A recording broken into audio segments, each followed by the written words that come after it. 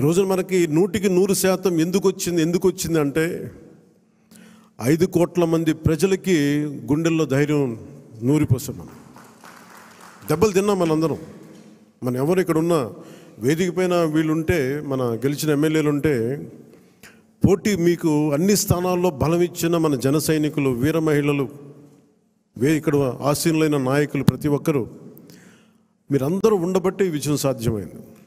ఇరవై ఒక్క మంది ఎమ్మెల్యేలు ఇక్కడ మేము కూర్చోగలిగామంటే నాతో సహా అది మీ అందరి కష్టం శ్రమ మీ మేధో మదనం మీ ఎలక్షనీరింగ్ కేపబిలిటీ జన సైనికులు అసలు పోటీ చేయని చోట్ల మనం పోటీ చేసిన చోట్ల జన సైనికులు చేశారు వీర మహిళలు చేశారంటే అదొక ఒక మన కోసం చేశారు అనుకోవచ్చు. కానీ మన పోటీ చేయని చోట మనం పోటీ చెయ్యని మిగతా నూట అరవై మన మిగతా అన్ని చోట్ల అసలు ఎలా నిలబడ్డారు కూటమికి తెలుగుదేశానికి కానీ భారతీయ జనతా పార్టీ కంటే నాకు నిజంగా చాలా చాలా ఆనందం వేసింది. అలాంటి జన సైనికులకి వీర మహిళలకి చేతులెత్తి మీ అందరికీ మనస్ఫూర్తిగా మీకు నమస్కరిస్తున్నాను.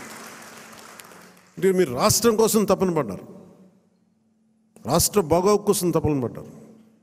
సో మీ అందరికీ చాలా చాలా మనస్ఫూర్తిగా నేను ఈ సందర్భంగా నేను మీకు ధన్యవాదాలు తెలుపుకుంటా ఉన్నాను అలాగే మనం అడుగుతా ఉన్నారు ఏమైనా ఆశించావా నువ్వు పదవులు ఉప ముఖ్యమంత్రి అవుతామని నేను ఆశించావా? నిజంగా చెప్పాలన్నా నిజంగా ఏమి ఆశించలే.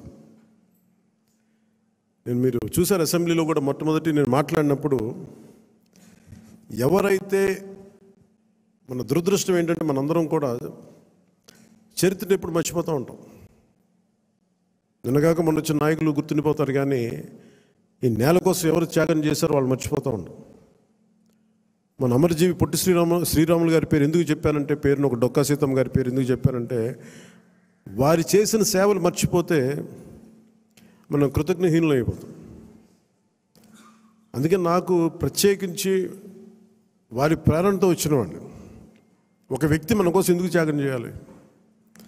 అలాంటి ప్రేరణతో వచ్చాను. అందుకే నేను పదవులు ఏమి ఆశించలే.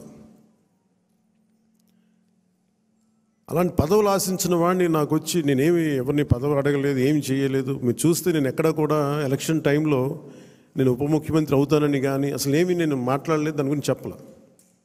పదవులు ఉన్నా లేకపోయినా పని చేస్తాం ప్రజల కోసం పని చేద్దాం నిలబడదాం. ఈ తప్పని తప్ప వేరే ఆలోచన లేదు.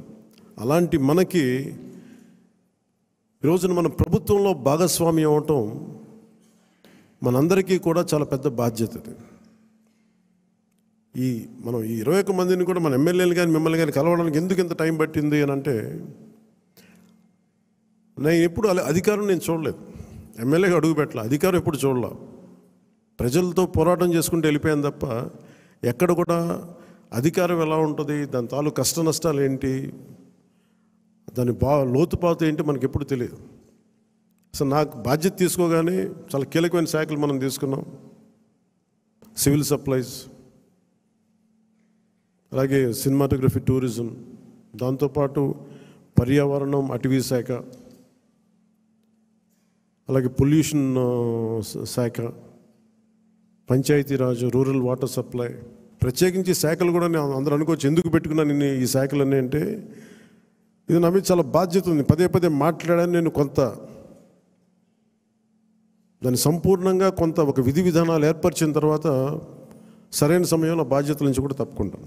ఇంకెవరికైనా కూడా అప్పగించేస్తాను. కాకపోతే అది చేసే ముందు ఖచ్చితంగా విధి విధానాల మీద చాలా బలమైన ఒక విధి బా- విధి విధానాలు బలవంగా ఏర్పరిచి ఆ బాధ్యతలు అప్పుడు అప్పు చెప్తాను